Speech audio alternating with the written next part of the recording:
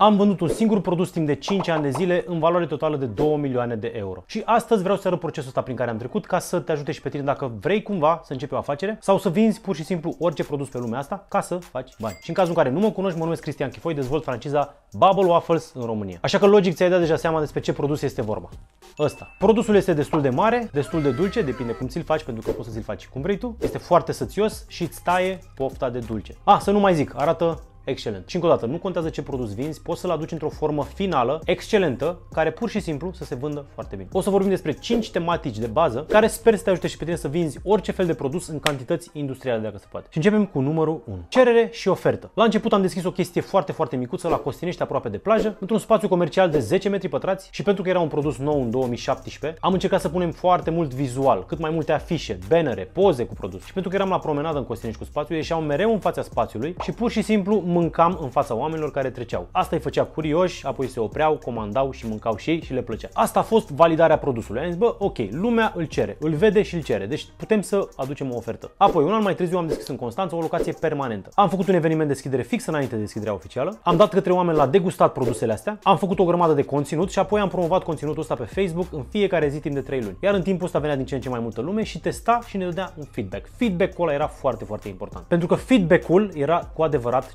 cererea. E bun, nu e bun, ce aș schimba, ce n-aș schimba, ce fel de ingrediente aș mai vrea în plus ca și client. Le notam, îmbunătățeam produsul. Asta a fost practic primul parcurs. Ca cererea să continue, trebuie să îmbunătățești produsul foarte mult. Ideea este că de la produsele inițiale pe care le făceam inclusiv acasă la mine până să deschidem prima locație din Costinești, încă nu erau în forma finală, așa că trebuia să le aducem cu ajutorul feedback-ului clienților. Și bineînțeles, 2, 3, 4, 5 ani mai târziu, tot consider că încă nu este forma finală și putem să mai îmbunătățim în continuare. Dar bineînțeles, diferență de calitate major. Apoi, revenind la prima locație din Constanța, permanent. În primul an, în iarnă, era să dăm faliment. De ce? Pentru că marketarea noastră a fost făcută în principiu pentru produsele astea cu înghețată. Lumea a început să le asocieze cu înghețată, pentru că noi nu am promovat și produsele cu cremă, de exemplu Nutella, peanut butter sau cremă de cremșnit. Și în prima iarnă, pentru că era frig și lumea le asocia pe astea cu înghețată, era să dăm faliment. Am văzut ce greșeală am făcut și apoi am rectificat tot procesul. Și ca să existe cerere în continuare, a trebuit să venim cu ofertă și cu promovarea ofertei foarte, foarte bună, adică crearea unor meniuri speciale de iarnă, unde toate produsele au cu cremă. Deci cererea nu doar că a rezistat, ci a crescut. Am ajuns de la primul an, în care am avut o cifră de afaceri de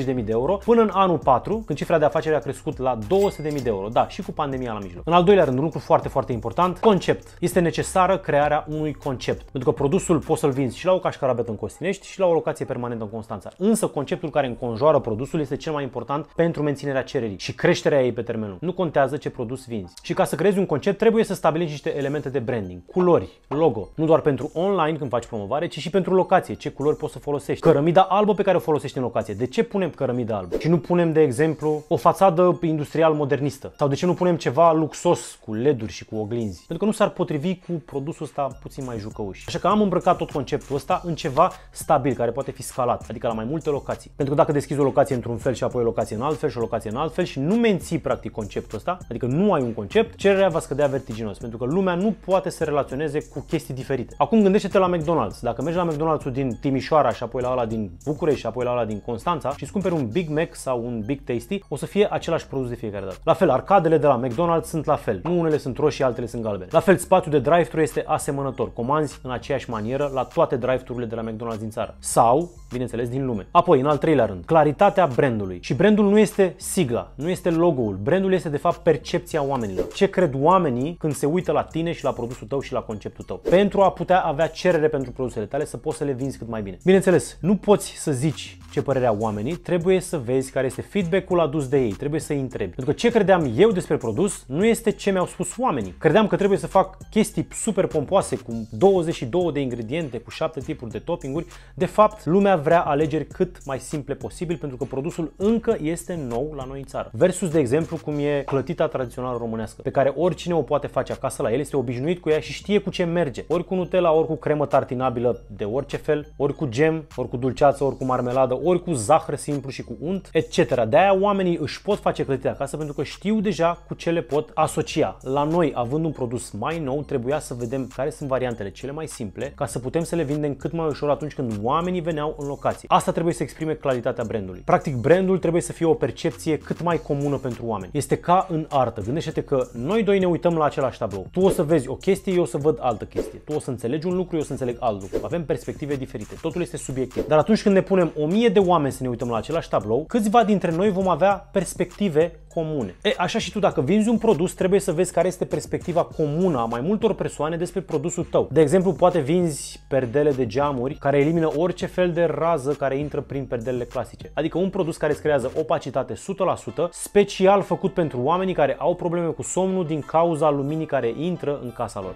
Și atunci când 100 de oameni testează produsul ăsta, o să-ți dea o perspectivă comună și anume un beneficiu. Frate, folosesc produsul ăsta pentru că pot să dorm bine. Din 100 de oameni, dacă 40 gândesc același lucru, asta este claritatea brandului tău. Pe asta trebuie să o promovezi mai departe. Pentru că și clienții tăi, ăștia cu perspectiva comună, vor zice mai departe exact același lucru. Beneficiul final. Percepția comună la noi, de exemplu, la Bubble Waffles este simplă. E clătita aia crocantă la exterior, pufoasă la interior, pe care poți să o umpli cu chestii, cu cremă, cu Nutella, cu înghețată, cu KitKat, cu Oreo, cu fructe. Deci o chestie dulce, sățioasă. Bombă calorică, mai spun unii. Așa că la noi pe site scrie foarte clar, the sweetest place in town. Trebuie să relaționezi cu ce percepe populația, nu cu ce crezi tu. Pentru că dacă ar trebui să-ți vinzi doar ție, nu o să faci niciodată bani. Numărul 4. Creșterea prețurilor. Este un subiect destul de tabu, mai ales la noi în România. Patronii de afaceri, mai ales cei cu produse bune, au frica asta de a mări prețurile. Aoleu, că dacă măresc prețurile o să-mi plece clienți. Dar de fapt totul se leagă cu percepția și claritatea brandului. Și aici mă întorc un pic la perdele. Dacă tu ai perdelele care oferă beneficiu pe care caută o anumită nișă de piață, și anume cei care vor să doarmă inclusiv în timpul zilei, dar nu pot pentru că au raze de lumină care le pătrund și îi trezesc, atunci produsul tău va fi odată de calitate, nu poți să folosești orice material pentru că trece lumina prin el și în al doilea rând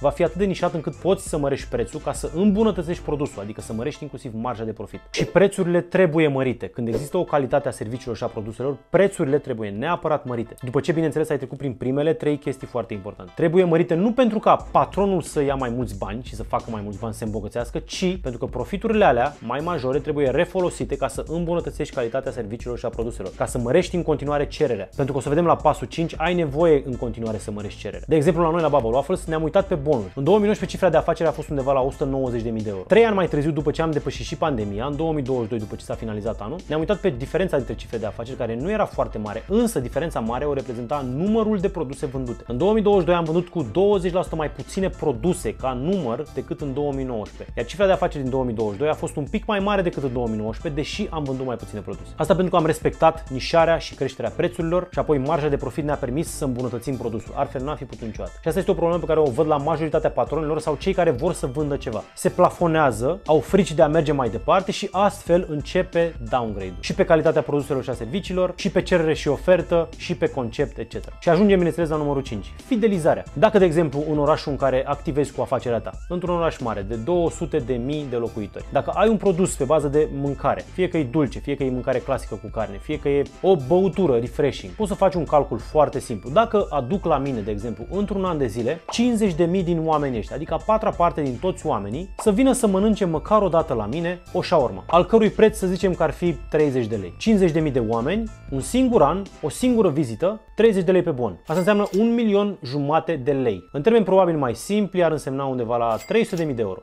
300.000 de euro pentru un produs destul de simplist, pentru o singură vizită pentru un singur om, este doable. Trebuie doar să-l convingi o dată și să faci banii. Aici, bineînțeles, dacă ai luat sub punctele de la 1 la 4, le-ai pus, bineînțeles, la punct, ai cheltuit bani pentru asta, poți să produci banii. Însă problema este că trebuie să ai un produs care îi face să vină înapoi. Deci produsul trebuie să fie odată foarte bun, adică trebuie să existe cerere în continuare, să o mărești, trebuie să ai un concept în al doilea rând, trebuie să formulezi o claritate a brandului tău și trebuie la un moment dat, bineînțeles, să crești prețurile. Însă, ca să poți să continui și să dezvolți afacerea la un nivel mult mai înalt, trebuie să îți fidelizezi clienții. Și asta înseamnă să le dai chestii înapoi ca să vină înapoi. Pentru că dacă vrei doar să funcționezi un an să faci 300.000 de euro, poți să faci chestia asta cu mult marketing. Dar dacă vrei să funcționezi pentru tot restul vieții, ai nevoie de oameni care se întorc. Ca să poți să-i convingi pe oamenii să se întoarcă, trebuie să le dai chestii din ce în ce mai bune. Tocmai de aia creșterea prețului este foarte, foarte importantă. Dacă nu crești prețurile, nu o să poți să îmbunătățești produsul. Bineînțeles, și prețurile se cresc atunci când trebuie, nu din prima zi de când ai deschis. Așa că soluția aici, ca să faci oamenii să se întoarcă la tine, poți să faci campanii cu vouchere, poți să le dai carduri de fidelitate, poți să le dai la o shawarma, o cafea, poți să le dai un desert dacă au o comandă mai mare de X lei. Uite un exemplu de cum am fost eu fidelizat la un restaurant din Brașov. Un restaurant la care trebuie să ajungi pe jos. Deci poți să parchezi mașina undeva la un kilometru distanță, trebuie să merg până acolo ca să mănânc și totuși fac chestia asta chiar dacă nu am timp. Am fost de câteva ore acolo împreună cu iubita mea și într-o zi unul din ospătari ne-a adus pur și simplu o prăjitură pe masă după ce am terminat masa. Și ne-a spus, asta este din partea casei. Și chestia e că am auzit cum șușotea un în spate. Adică ospătarul nostru l-a întrebat pe managerul de sală dacă poate să ne aducă o prăjitură. Și apoi a venit și ne-a spus, am văzut că veniți mai des pe aici, așa că am considerat că e ok să vă aduc o prăjitură din partea noastră. Pentru că ajunsesem acolo de cel puțin 6 ori în ultimele